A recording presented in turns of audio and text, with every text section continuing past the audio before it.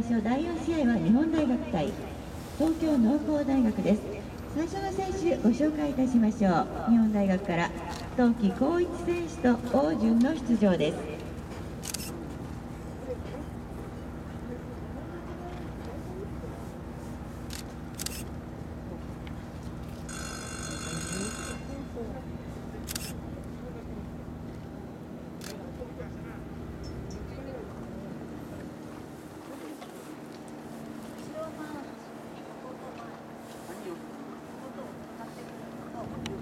何がいい？そらそうやスタートいたしましたのは日本大学生物資源科学学部3年生冬季幸和選手です。コンビを組みます王順はオランオーストラリアで生まれましたサラブレッドミックス。12歳の選馬です。